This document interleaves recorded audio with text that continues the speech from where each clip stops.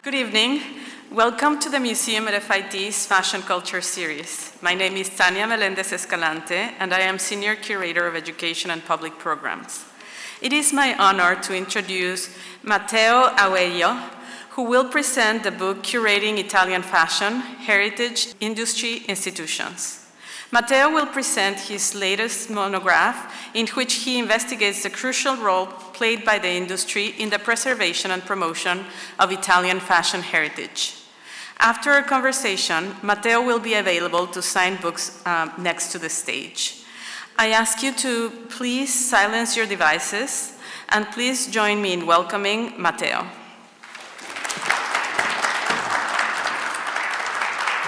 Thanks for coming. Um, I think I'm, I'm, liking to think that this is the last presentation of the book, so I, I wrote exactly what I wore on the cover, uh, which got me into trouble with a few academics. Um, but, you know, it made sense to me that I should be on the cover of the book. Um, and I'm going to try and um, convince you to buy it, basically. That's the plan for tonight. Um, so the um, the idea behind this, uh, this book comes from a, from a PhD that I started um, a few years ago at London College of Fashion. And uh, I had been working even before that in Italian um, institutions that were dedicated to textile history and to uh, fashion history. In particular, the foundation created by Antonio Ratti. In Como now, you have the Antonio Ratti Textile Center at the at the Met, which I went the other day like a fangirl, like, oh my God, finally seeing it. But um, I've been talking to so many people uh, who I think were my, I would call them my mentors. Uh, they really raised me as a, as a scholar, um, and I could hear all of the stories about their exhibitions. Uh, you know, very often you, when you study as a historian, you know, you don't get the sense of what people's choices actually were like.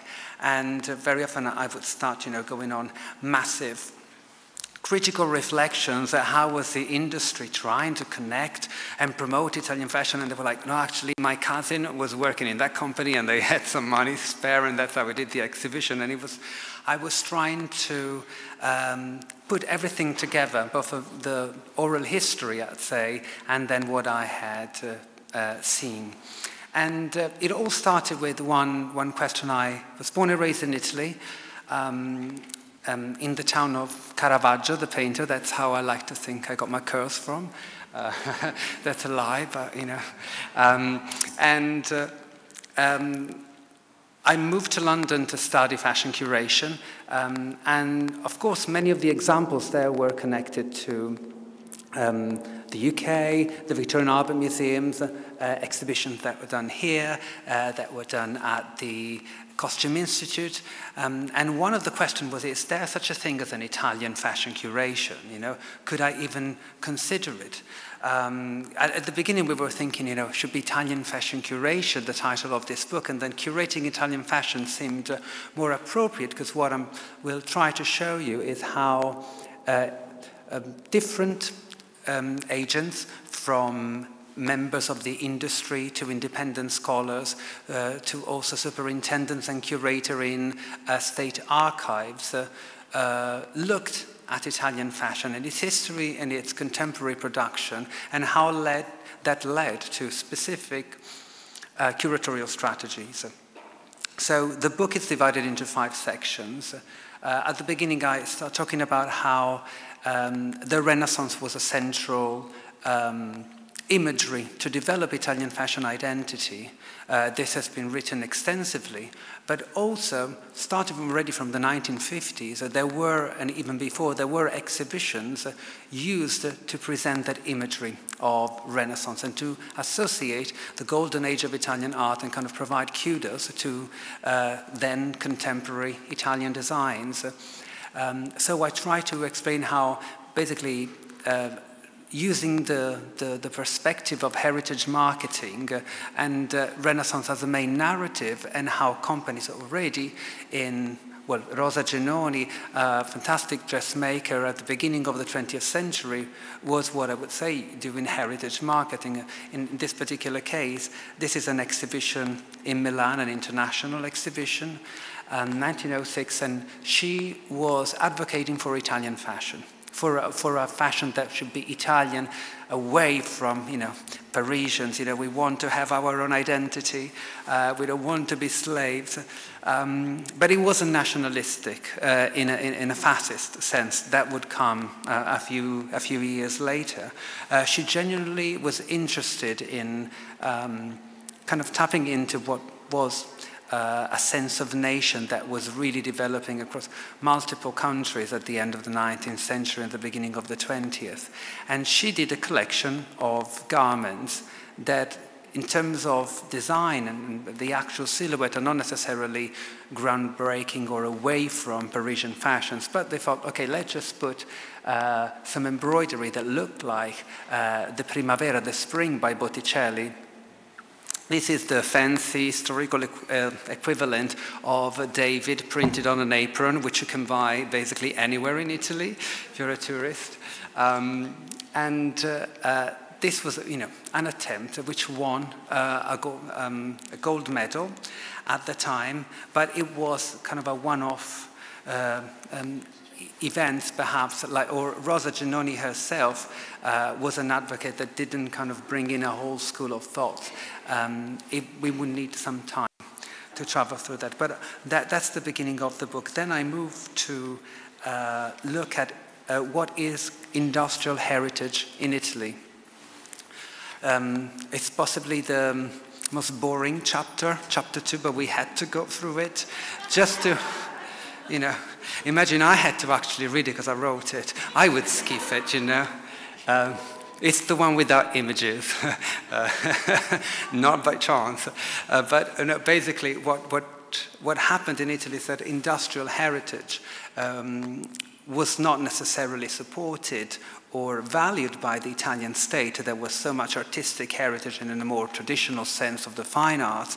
So money and, and efforts went to preserve that. So companies had to develop their own uh, strategies to support and to reflect on their own histories. And they had been doing that for a long time. So Italian fashion companies or textile companies when I, when I say fashion, I usually refer to as uh, the, all, of these systems together. They were not doing something that was not done for product design or for uh, companies that were dealing with producing electricity. Um, and that was needed, uh, that chapter is needed to understand the kind of landscape and the influences. And in fact, they had outstanding um, in the 1950s, you would find outstanding institutions that were supporting uh, the heritage of an industry. They were at the time, not like we do today, we present the past and the present together to kind of provide authority to what we are doing. They would say, we do projects on the past and then our work is on the present. They would keep them separate. So we would say they were looking at the history of their field rather than heritage in the sense of using the past for present. And one of these outstanding institutions was created by a textile company, an enormous textile company. Uh, Snia Viscosa was working with viscose. It was one of the biggest textile producers in Italy. Also, they had a lot of money. And they created an institution in 1951 called the International Center of the Arts and of Costume. They really loved very long names. We'll get even longer acronyms uh, as we'll go over this night. Uh, but this is a poster from 1952, and this was in Venice. Um, there were different cities in Italy, there, there, still are the cities, but every city was kind of claiming um, a throne of Italian fashion. Or we started high fashion, or we started industrial fashion, not going into um, um, kind of, you know, this internal fight. But in Venice, this institution thought, oh, we'll present, uh, we'll look at fashion, we'll look at cinema, we'll also organize historical reenactment because that was a major thing at the time, especially for tourists. Uh, in a way, if we are selling Italy based on its golden history, we've got to put that on display. Um, and so that's where my, my, my history starts. So the, the third chapter um, basically tries to provide an overview of the 20th century and Italian fashion exhibitions and institutions, uh, and which I've divided into three phases. Um, the study of historical text, textiles and dress um, from the 1950s to the 1970s. Then there was a shift in the 1980s, which um, even here with the famous or infamous Yves Saint Laurent exhibition uh, um, at the Costume Institute of bringing in contemporary designers. And then in the noughties, we will start seeing how companies are actually taking the lead. And I say that they are no longer sponsors, but they become cultural producers. Uh, they have thought, okay, this is an, basically, it's an investment. So why would I give so much money to projects if I'm not sure on the return of the investment? I can create foundations where I will have full control of uh, what I will get back. So almost kind of writing exhibitions as press releases, and that will reserve a higher return on investment, uh, which is, could sound problematic if you're connecting it to uh, research and scholarship and fashion, but I found great examples of uh, commercial intent being um, addressed at the same time as developing scholarship in a, in a very transparent way, which is what I'd like to show you. This is a great look, but I'm sweating so much. um, anyway, moving forward, these are some images taken from the catalogs of the first exhibition. Telling you about long names, they, they thought our exhibition should have a longer title than the name of our institutions. So it was an exhibition of costume in time from the Hellenic era to Romanticism, everything of course, from a Western perspective. Um, but the, the settings were actually gorgeous. Um, they had uh, um, fabrics produced by the company who had uh, created uh, the institution used as settings for the exhibition display. Um, that is Palazzo Grassi, where it was held. It's still today an exhibition venue, but by another association. And uh, they even had books on, on costume that were on display. They wanted it to become um, a research center and they wanted to basically create a manifesto exhibition. This is all the things that we'll be able to, to look at. And uh, scholarship on textiles, um, and, and, especially on historical dress, was big, just beginning in Italy. You know, there were some examples here and there, um, and uh, this was also a way of getting people together, and they did in 1952, the first Congress, International Congress of History of Costume.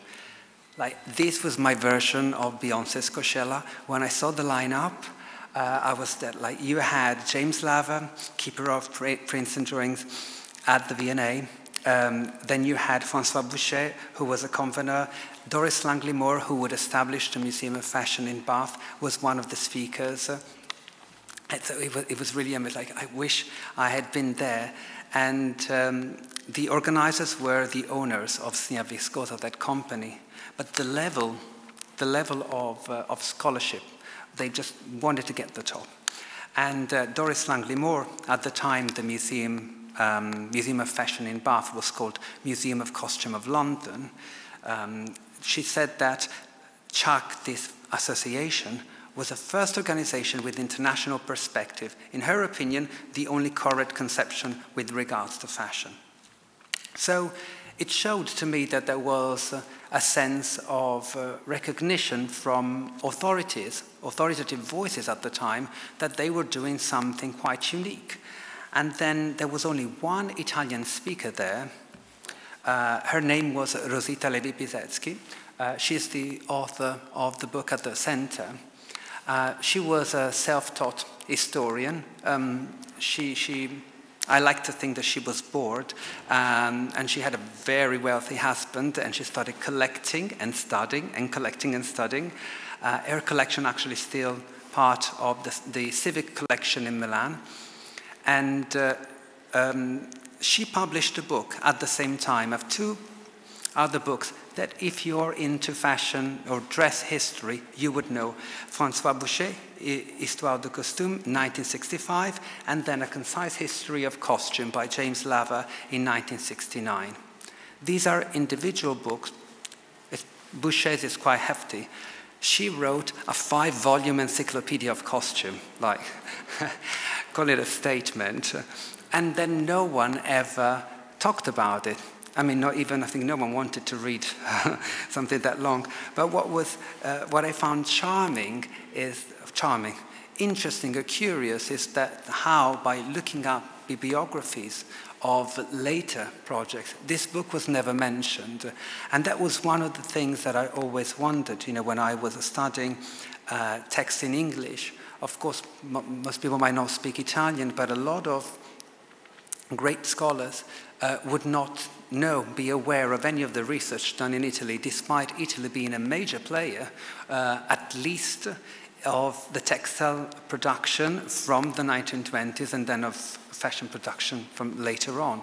So it was like, you know, how, why, why did that get lost? Uh, so that was one of the, my, my obsessions. But what they were also doing at the time of that Congress was an exhibition called um, The Legend of the Golden Thread uh, on the, the, the, Silk Routes, an even longer title like that. And we're going to get even longer, I promise. Um, half of the presentation is just exhibition titles. Um, this is a catalogue at the time, and the last two rooms uh, were called The Researchers on the left, and then uh, The Miracle of Science on the right. Uh, they look like futuristic, you know, that's what the future looked like in 1950s. Um, and what, what was brilliant, I think, for me, is that they already by year two, the institution starts, or the industry that's behind that institution starts putting their agenda forward. Okay, let's also talk about the present. All of that we need to validate what we are doing now. Uh, and the exhibition display were actually brilliant. But then, of course, as it usually happens in all of the best uh, Italian textile or fashion dynasties, succession, we have a problem. Uh, the sons want to do something different from their fathers. So when um, Franco Marinotti, the son of Paolo the founder, um, started to take over effectively of the institution. They thought, mm, I'm more interested in contemporary art, so we're moving away from textiles and, uh, and dress. Uh, they continued doing contemporary fashion collection, the kind of displays, almost like fashion weeks, festivals they were called. And then instead they, they used the space to create um, art, contemporary art exhibition where there were artworks commissioned and created using fabrics of the company that was sponsoring them, at the same time using those textiles to do very exhibition design across, uh, across the venue. Um, and this were actually, they did some interesting uh, collaboration with other European contemporary art institutions in the late 1950s and in the 1960s. Um, but then somehow it kind of died down. The company also was having different um, income and they had other priorities. And what happened in the 1960s is that exhibition-wise, the, the strategy was to focus on contemporary art, but scholarship would continue on dress and fashion, well, textile collection, and in fact, one of my favorite books ever, 1970, this was the International Guide to Public Museums and Collections of Costumes and Textiles. This was a three-language book, Italian, English, and French, edited by Grazietta Butazzi, who's a hero of mine. She was basically the founding uh, scholar uh, who from the 1960s to the 1990s, so she basically got a lot of other dress scholars together and tried to uh, stimulate exchanges of practice to learn how to approach the study of textile and fashions. And she wrote this outstanding um, collection. Uh, well, it's, it's, basically an inventory uh, with more than 700 collection on all of the continents. Still in parallel, I haven't seen an uh, a publication of this kind, but this is never mentioned. I've only found it mentioned in two other publications. Even people who knew this woman, they didn't know about this book. So again, all of these mysteries, you know, what, what happened then?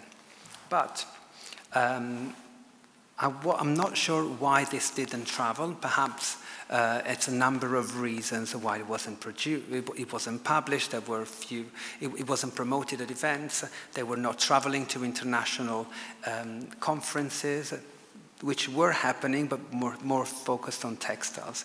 But what definitely happens is that by 1970s, uh, there starts to be uh, the willingness to think how to study textiles and how to study uh, historical dress in Italy. So a number of uh, um, scholars, this is the longest acronym, they get together in 1978 and they decide that after a few years of organizing uh, um, short courses, so a person who had developed an expertise in um, Renaissance Florentine velvets would hold a four-day course where everybody would travel to, and this is suddenly kind of this very scattered uh, development of knowledge uh, study bring the field of uh, textile and dress history forward. But they got together in 1978 creating an association called the Italian Center for the Study of the History of Textiles, uh, called CIST. They all spoke about this. There were 26 Italian historians of applied art, and in particular of textiles, costumes, and lace. They loved putting lace away from the rest. I don't know, there must have been some internal thing that haven't delved into that. Well, uh, we're lace, thank you very much. Um, so they were got together by the need to build an organism to unite the efforts of individuals in an attempt to influence the current situation of the Italian textile heritage. This is all my translations like, wow, that's brilliant. And then they, because they, some of them were in positions of power, one was a curator of applied arts at Pitti Palace, which was a decorative, um, um, basically a decorative art foundation connected to institution connected to the Uffizi Gallery in Florence. They could hold have exhibition spaces, and uh, textiles were basically included in other collections. Some of them were ecclesiastical, depending on, on, on how the collections were formed. They were internal and they were able to create new collections by taking bits and pieces from the rest and saying textiles and dress are the focus. So we get to my favorite image. You might have seen it on Instagram. We have a procession of catwalks of cardinals. Uh, this was 1979. Um, the title of the exhibition was Curiosity of a Palace, uh, uh, the events from the wardrobes of Palazzo Pitti. Like, um, and uh, what they did was to have quite fashionable display. Uh, if you see behind this catwalk, there was actually an arch with luminaries, like it was really camp. Um, and I find it so like even to this day, some people would in, in Italy would, would, would question the taste of, uh, of dealing with ecclesiastical matters, but like not like we, we, we're going for it. Um, and uh, this was a way, as they told me, to test. Uh, uh, how the audience would react. So we have two exhibitions between 1979 and 1980 where they are trying to test whether the idea of a fashion museum would be welcome by the audience and what visitors number would be guess what? They liked it. The audience really liked it, and so there was one in Florence and the other one was in Milan. Uh, this is even uh, not better, I should say, but um, to me, um, uh, it's one of the most um, challenging um, exhibitions done from a political perspective on fascism, but through the angle of fashion. This is 1980, and they decided we are going to approach fascism, the 20 year of fascist uh, dictatorship in Italy, 1922 to 1943.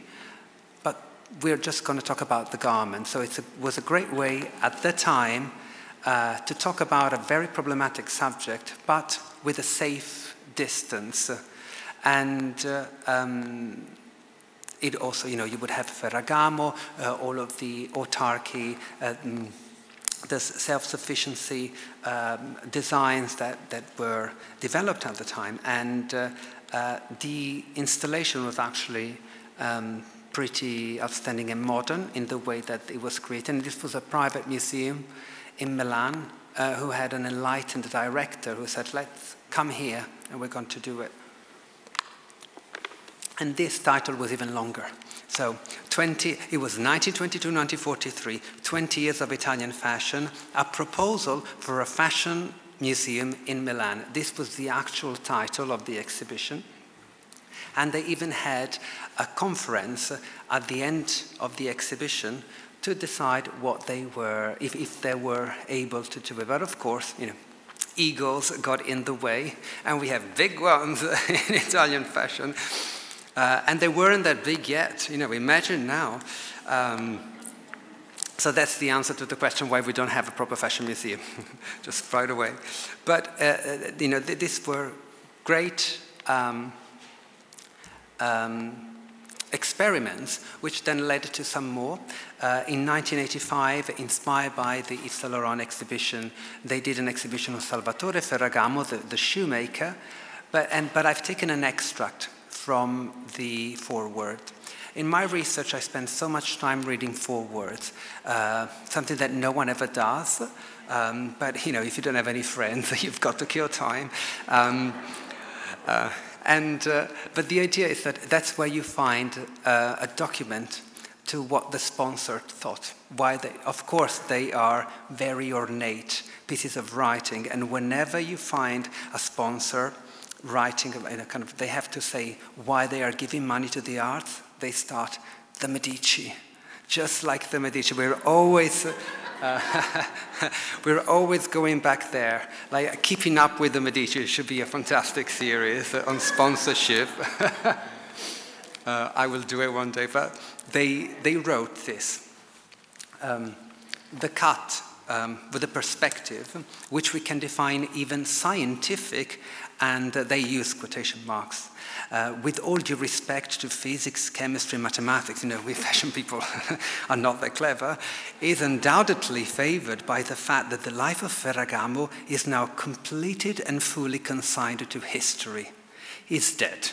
Basically, that's a very nice way to say he is dead, so we could do it. And in fact, they made sure that they wrote 1960 so they know that we are not promoting an Italian functioning company, you know. Um, and uh, these were some of, uh, th there are many surviving images of, of that exhibition, uh, but it started uh, the work on the Ferragamo archive, which was already fairly organized, which then would lead to the opening of the first corporate museums on fashion in Italy by the Ferragamo in 1995. And the director, who was one of the curators at this exhibition, is still there, and she's fantastic, Stefania Ricci.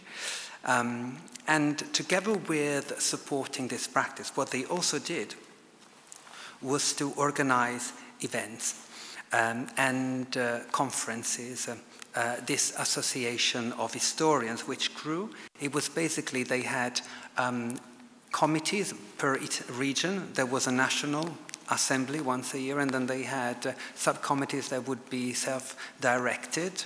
Um, and they did one, my favorite, conference in 1990, three days, called Ready-Made Fashion, Research and Problems on the History of Ready-Made. So they were going back to the Middle Ages uh, uh, to kind of understand what would uh, be a history of actually, uh, not couture, but what, what other people, well, cheaper made garments. And this was created after Grazietta Butazzi, that historian that I was telling you about, was tasked by GFT, um, Gruppo Finanziario Tessile, the manufacturer behind Armani, um, to do corporate research on their archives, and then they realized that perhaps there was something going on on the industrialization of clothing manufacture.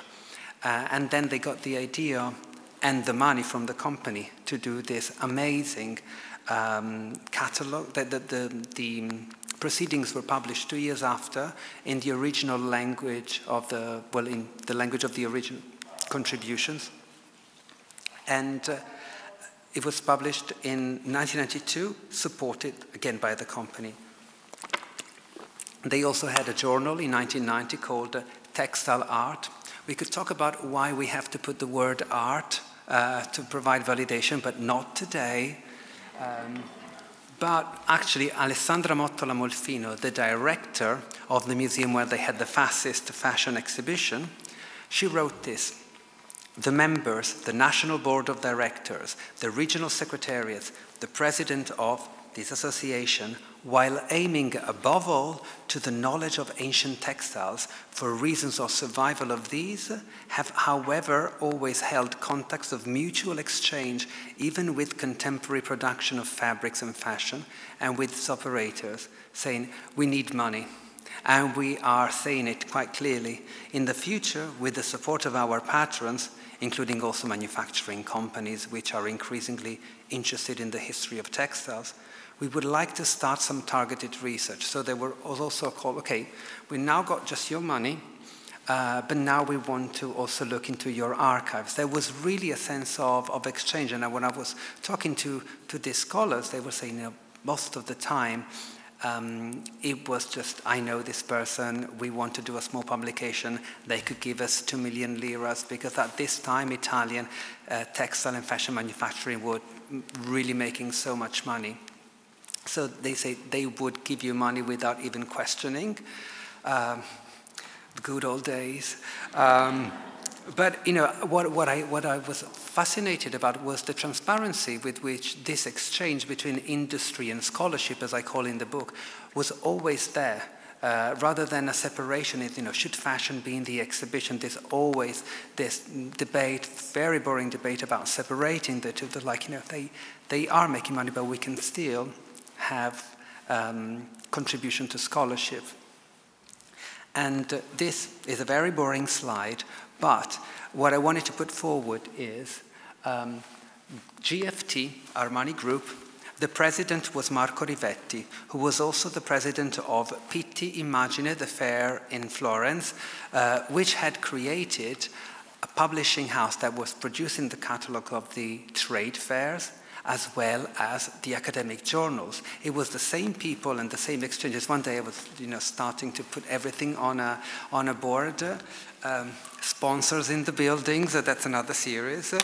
And uh, uh, you could see that that was a very tight network of exchanges between all of these people. And uh, Marco Rivetti in particular was an enlightened entrepreneur who really wanted to use scholarship and exhibitions to promote contemporary fashion because we have a problem there in the 1990s. The problem is Florence is no longer the center of fashion. Uh, it kind of had lost uh, a lot of its centrality, and so there was um, an effort to put Florence back on the map. How do you do that? How can you put Florence back on the map of Italian fashion? You do an exhibition and you call it La Sala Bianca, which happens to be in Florence, the birth of Italian fashion. And you just use a retrospective exhibition to say, ah, that's where you start the history. So we're back there. Again, this idea of heritage marketing. Um, and so they, did, they commissioned this exhibition. Um, there are two catalogs one is, let's say, a publication that was accompanying the exhibition research, but was not about what was actually on display. And then they did a smaller uh, publication, the one that you see on the right, with exhibition of what was actually on display, because some fashion scholars really wanted that you know, precise communication of scholarship. And uh, that was loud, sorry they started, Pitti started to uh, commission a series of exhibitions uh, in conjunction with the trade fair that were taking place in Florence, still happening to this day. They started that collection. So the audience are people that are coming for, uh, for the fairs. It's no longer a general audience. Perhaps the main audience is not even the scholars, but is um, fashion traders. So we also find very interestingly that we have a new uh, curatorial approach, we can say that exhibitions are not tools to disseminate research, but they are platforms for uh, fashion criticism done in, a, in an exhibition way. So it's not the result of five years of research on a collection. Um, which takes place when the curators are actually carers of, of, a specific collection and they spend time studying it. We have independent curators who are coming in, selecting objects from different, um, different locations, and in a way, what they said they were trying to create a commentary on the trends. This is what's happening in fashion right now that we see in the trade fair. And on the other hand, you have an exhibition that kind of unpacks some of the themes in conjunction, throws out some suggestions or clues on how to read contemporary fashion. Um, and then in 1996, they have their, their moment. Uh, now, this is Italian ego at its best. Let's do a biennale of fashion. And um, it's not ego for that. It was a brilliant idea uh, Germano Celant was one of the uh, standing art, contemporary art curator, was one of the, um, uh, of the curators.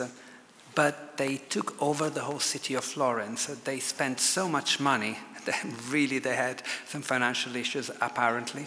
Of course, there are not many documents about that, or I, I, was told this, but without going too much into detail, but I think it's a good point because there was another edition two years after. This was supposed to be about it, fashion and art.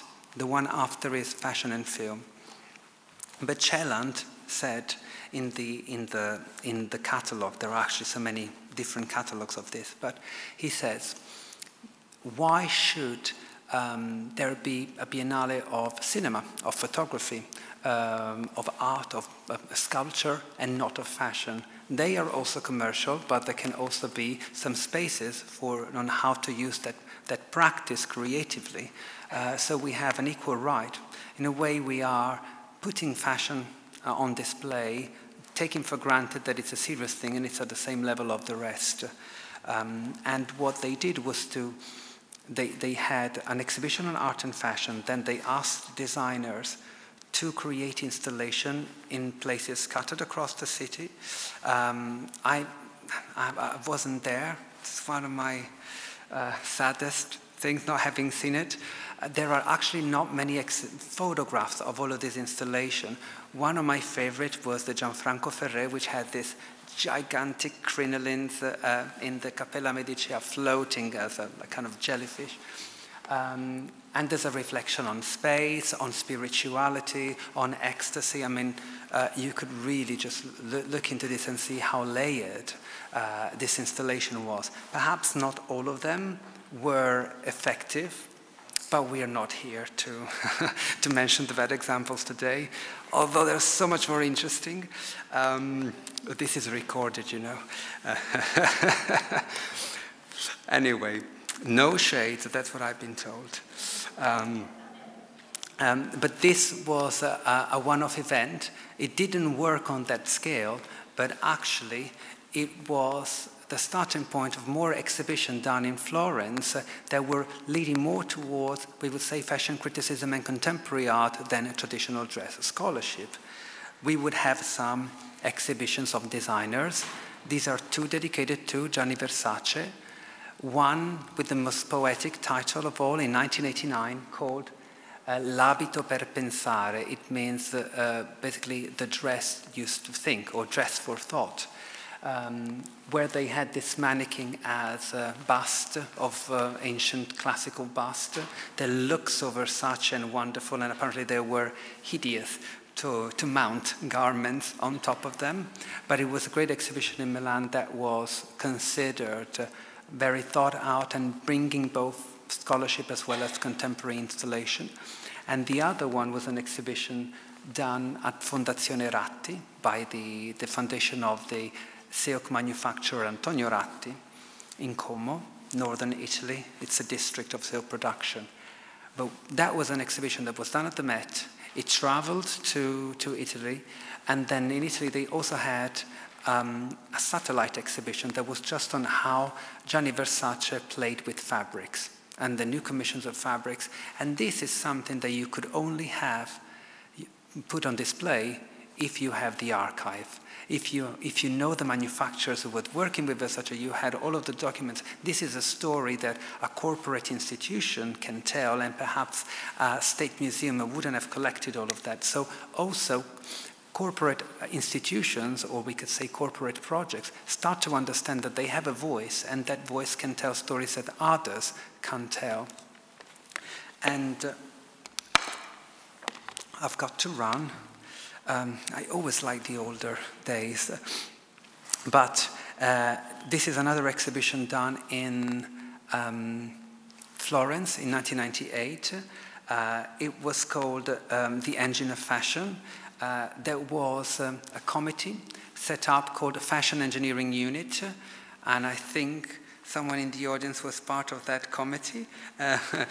And uh, Valerie um, and uh, um, we'll have to talk about that. I always loved the name Fashion Engineering Unit, um, but they and they, they, they did three um, exhibitions uh, uh, under the name. Giannino Malossi was one of the curators uh, and project managers of that.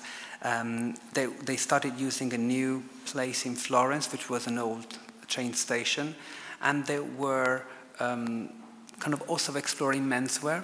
Um, something that was associated with Pitti Trade Fair. They had done a menswear exhibition in 1993. Another wouldn't have done menswear. And this starts a series of uh, uh, contemporary um, exhibition once a year or twice a year uh, that are used in, we could say, in dialogue with uh, contemporary production, supported and encouraged, stimulated, and sometimes completely controlled by the companies. So the last uh, phase of this history that I'm putting forward, which is by no means exhaustive, but I was tr trying to create an overall narrative, is the lead of corporate institutions over the last 20 years. 2001 is an important year, is the end of the Armani exhibition uh, here in New York, another infamous exhibition, but also uh, Uniform, Order and Disorder, which was created by, curated by Maria Luisa Frisa, Stefano Tonchi, Francesco Bonami at the Stazione Leopolda, always in Florence in that very location.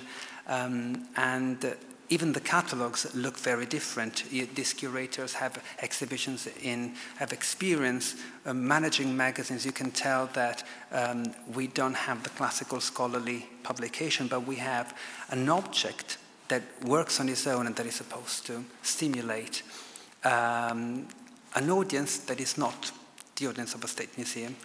Um, and then we also have a major exhibition in Como on silk, the 20th century in Como, which got together all of the archives and the different manufacturers. Um, that's another brilliant one. But um, if you have a main foundation in Como uh, that bears the name of one manufacturer and you try to partner with other manufacturer, you can imagine that it's not going necessarily to work. It did at the time, but there is a beautiful essay by Chiara Buss, who was the curator, the director of the Textile Museum, the foundation, saying, a lot of companies are too young, they're not going to allow access to their archives. Others, they have given away their archives because once you purchase a manufacturing plant, you're going to also give away the archive. And, there, and she explained a number of reasons why it's so difficult to reconstruct those histories, but also why we should have that discussion. And uh, in this phase, uh, you have uh, publications by museums. I'm just going to show you two. Uh, one is the Textile Museum in Prato, outside of Florence. That's a great uh, wool production um, tradition uh, and we could say it's a district local museum. Uh, it's not linked to one particular company, but it serves uh, the local production associations. And the other one is the Ferragamo Museum.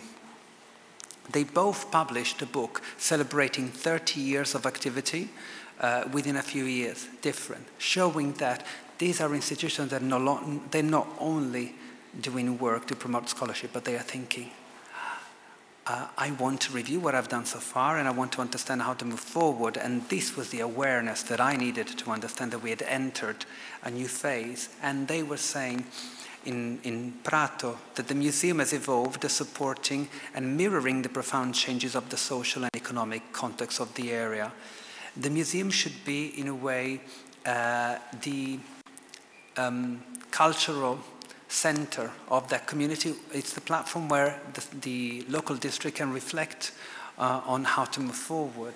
So he plays an active role in contemporary production. So history has an active role in that production. And, but whether you're a single company or whether you are um, a district. If you think of MOMU, uh, the museum in Antwerp, but you could, you could view it also as a, as, as a local museum that is always in conversation and reflecting on what Antwerp fashion is. And they do exhibitions with an attitude that we could perhaps compare it to the values in which Antwerp fashion design is brought forward. Um, and uh, uh, this is the extract from the Ferragamo Museum. The museum is now a vehicle for the preservation of the memory of the founder, but also a communication tool of the brand on a worldwide level. And what I think was um, refreshing for me to see uh, that um, in practical terms, if we're giving money away, we've got to have some return. Uh, we can still write um, a press release through an exhibition, but have some elements of uh, new scholarship. Not all places do that. Some of them are like just window display uh, and perhaps a waste of resources, uh, but others are managing to, to balance the two. This was my favorite exhibition at the Ferragamo they, they were celebrating uh, 150 years of, of, the, of uh, Italian uh, unity. Um, was, yeah, it was an anniversary. Uh, it was called the Palace and the City, but they told this history of uh, the palace about 900 years where the Ferragamo headquarters are. It happens if you work in a 13th century building, you know. Uh, not anyone can do that. But they tell the story of a city, of a nation, and of a specific place. And then, of course, at the end of all of this amazing history, you have Ferragamo being there. So that provides cultural authority. But for every part of the exhibition, the museum would get the scholar the expert of the field that it's in discussed and they commission them new research. So you're putting money towards contemporary scholarly production and at the same time you're serving your own needs. And if you go into a Ferragamo museum, you're not expecting them to be critical. The next step, I think for me, is these places are great locations where companies can come to terms with their own limitations uh, and they can't do it on social media because there is a restricted uh, ability to, to, to elaborate on complex matters, but you can do it in another exhibition space. Um, the Mercedes-Benz Museum in Germany, they, they, they have Hitler's car, and they, I was talking to the director, and he was say, do we put that car on display or not? Because if we do, you might get people that go there as, uh, as a, almost an object of worship, but then if we don't do that, we are seen as uh, hiding a part of the history. So it's a constant compromise that you had to address. And museums are the best place where you can have that complexity. I'm finishing now. Yeah. Um, I'm done. No, no. Sorry, it was I'm done. No, it's not that easy. Just no, I won't get taken. You, you get a hook or something, just like in the old days. No, um, well, you've got to buy the book if you know, want to know how the story ends. Uh, uh, but uh, the main point is uh, uh, there are multiple examples that I'm trying to charter uh, of different curatorial strategies that have developed in a specific way because of the context. Um, and they can also uh, although they were late in Italy perhaps to do certain fashion exhibitions, uh, and they had to deal with the industry. This is something perhaps that other uh, in other nations was not done, but it could be, uh, we can have clues on how to reflect on this relationship between the sponsors, what they are doing, and how to use money in a corporate social responsibility way. We have all, French brands are very good in creating heritage exhibitions. They travel around the world. Some of them are exquisitely curated, and researched. The next question is, is that the best way to use that money? But at least they are looking after heritage that no one else is doing. In Italy, that, that's the part that in my book you will find um, many examples of when they got a state committee on how to create a fashion, a fashion museum, and then nothing ever happens. You know, trying to get them together, and then you know we're very good at changing government quite quickly. Um, hopefully, soon we'll see another change, um, and. Uh, uh, and that kind of is also detrimental. So companies just did it themselves. Uh, uh, that is not the whole history of, uh, of Italian fashion curation, but it was part of it. Uh, is this the good way to do it? I am not sure, but someone yesterday kind of gave me the answer. So, um, what about Italian fashion curation? And I thought that this explained very well. I went last night, I had to put Madonna in like this uh, uh, scholarship. So thank you, Madonna, for using fashion as a way to convey very important and scholarly messages across the world uh, for many decades. And thank you for listening.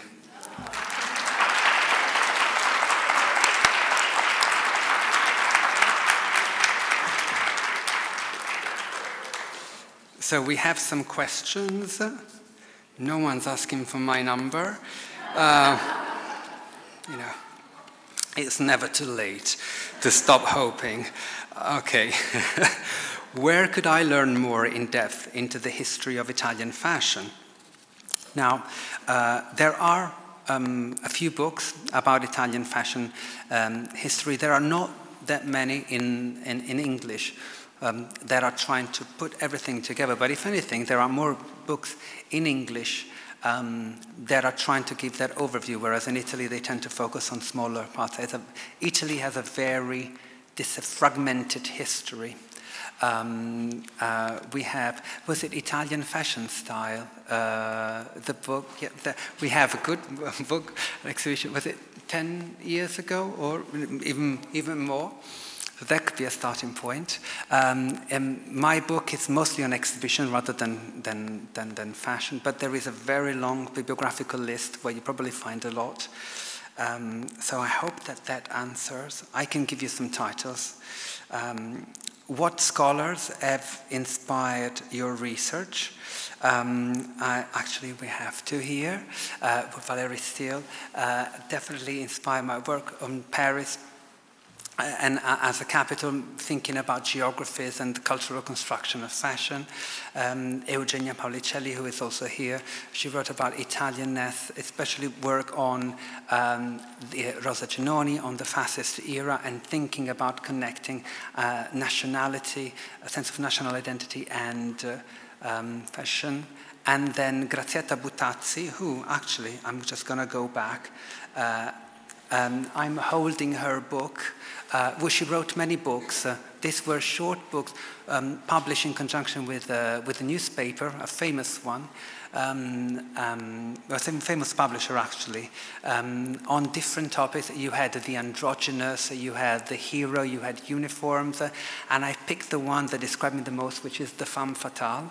Um, but um, she wrote, she didn't, there is one book called Fashion, um, Art History Society. I can't remember the title in English, but it was translated.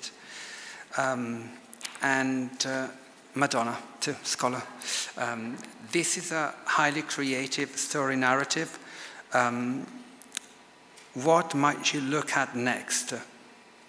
Away from it? Um, no. Um, I'm I'm actually lo looking into Caravaggio, the painter, um, with um, what I want to do um, is to, we have the archives of the, the, the, notebooks of Grazietta Buttazzi at the Foundation Ratti in Como. So you have you know, scholars you like, and you have all of her working books with their notes, with cutouts of the images, like gold.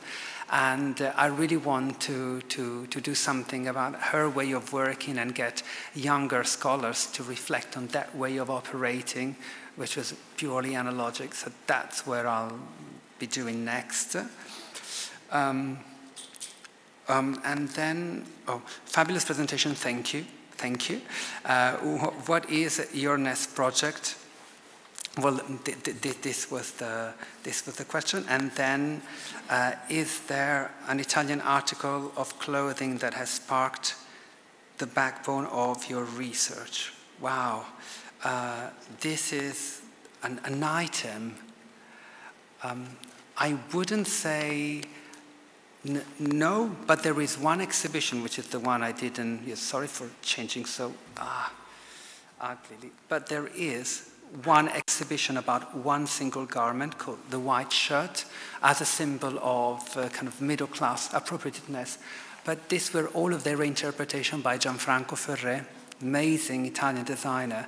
And the whole exhibition was just about the white shirts and all of its reinterpretation. It was beautiful. I think I'm not the audience of fashion exhibition because I go there and I look too many details, but this is the one where I, I was um, um, speechless uh, because it was so beautiful. You had this ghost kind of floating up in midair, but you also had tables at the side with the drawings and, and, uh, and samples of the fabric so you could get the creative process, but also you get the wow moment. Uh, so, and there is a catalog also translated in English about this. I'll be signing copies of the book. You can take a picture of the author and the cover. It's not here, but so unique chance, really. You know, I don't live in the continent. Thank you very much again, and I'll see you later.